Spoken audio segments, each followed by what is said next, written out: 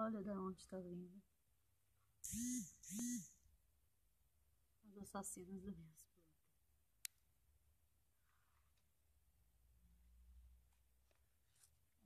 Levando folhinha. Olha, gente.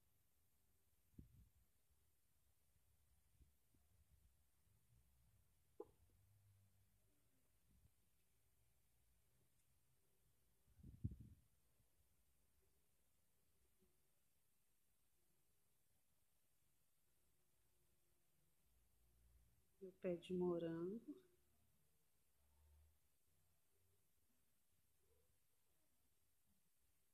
Já comido por elas.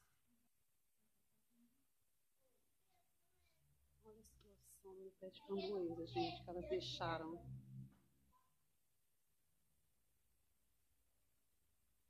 Era isso que eu queria filmar para vocês, que eu descobri quem foi que fez isso com o meu pé de romã.